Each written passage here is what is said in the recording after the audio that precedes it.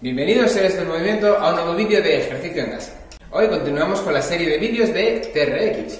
En el vídeo anterior os enseñé cómo regular la altura del TRX para trabajar con diferentes grupos musculares. Hoy vamos a meternos en materia y voy a enseñaros ejercicios para brazos con TRX.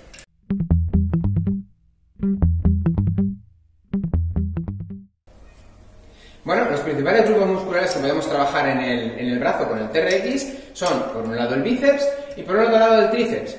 ¿Vale? Entonces, antes de comenzar a, entrenar, vamos a ver a qué altura debemos colocar las, pinzas. En este caso, para trabajar el bíceps, vamos a, colocarlas en una posición corta. Bueno, una vez hemos seleccionado la, longitud de, de, cuerda, vamos a comenzar con los ejercicios de bíceps, que os recuerdo que están en la parte anterior del brazo. Entonces, como vamos a hacer flexiones de brazo, lo que voy, flexiones de codo, perdón, lo que voy a hacer es que me dejo caer hacia atrás, siempre que trabajo bíceps, levanto la punta de los pies, meto el culete dentro y desde aquí lo que voy a hacer es, con los codos bien altos, me traigo las manos a la frente. Mucho cuidado con las muñecas, un error muy común es flexionar las muñecas y subir aquí. Aquí, al principio cuando empiezo no pasará nada, pero después de sesiones y sesiones y sesiones, al final acaba molestando la muñeca. Entonces, la muñeca tiene que ir en prolongación del antebrazo.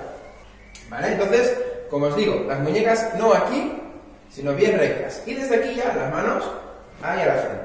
Bien arriba. Los codos tienen que estar bien altos, porque si lo hago aquí, trabajo mucho menos. ¿Vale? Entonces, lo que tengo que hacer es los codos bien altos y ahí notar cómo se tensa la musculatura flexora del codo aquí. ¿vale? Acordaros que cuanto más adelante los pies, más difícil. Aquí. Nunca dejo caer el culete, ¿eh? Nunca dejo caer el culo, la espalda bien recta y arriba. Si lo quiero más fácil, pues aquí. ¿Vale? Punta de los pies arriba y aquí.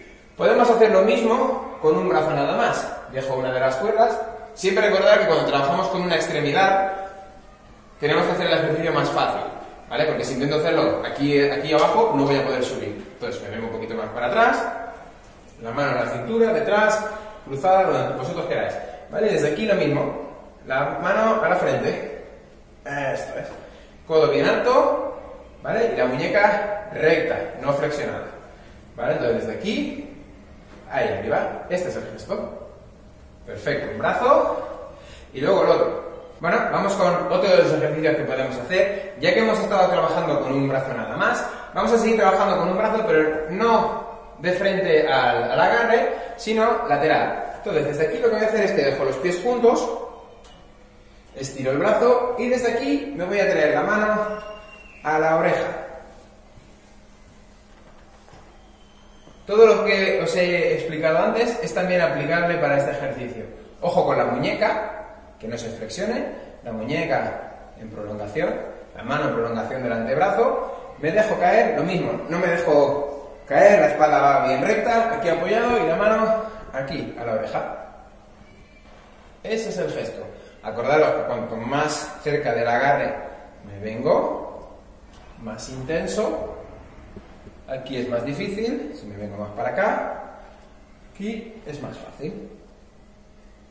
Este es el gesto con un brazo y luego lo haría también con el otro exactamente de la misma manera. Si queréis hacer este ejercicio, pero por lo que sea, veis que, falláis y que ya no podéis terminar, podéis llevar un pie hacia afuera, entonces lo que hago es que con esta pierna me ayudo un poquito para venir. ¿Vale? Fijaros, este gesto, ahora ya puedo. Me puedo venir muy hacia adentro y con esta pierna me ayudo para hacer el ejercicio. ¿Vale? No es lo ideal, pero es una opción muy válida para completar el ejercicio cuando ya no tengo fuerza para terminar. Y por último, vamos con uno con otra de las dos cuerdas, mirando de nuevo hacia el agarre, pero lo que voy a hacer es que le voy a traerme las manos a los ojos, me las voy a traer cada mano al, al hombro contrario. Entonces, fijaros, lo que voy a hacer es que paso una mano por encima de la otra, aquí. Extiendo y cambio al otro lado. Fijaros que cada vez una mano alternamente le va pasando al hombro o a la axila. Entonces los brazos se alternan. Y aquí lo mismo. Van los dos brazos a la vez, puntas de los pies levantadas, meto el culete, venga, desde aquí, perfecto. Un brazo y luego otro. Aquí. ¿Vale? Principalmente los codos. No utilicéis los hombros, porque si no entonces también involucramos al, al pectoral, que no está mal, ¿vale? Pero si queremos trabajar bíceps, queremos trabajar bíceps, no todo lo demás. ¿Vale? Y estos son los cuatro ejercicios que os he traído para bíceps. Si queréis ver ejercicios para tríceps, os veo en el siguiente vídeo. Hasta la próxima, héroes del movimiento.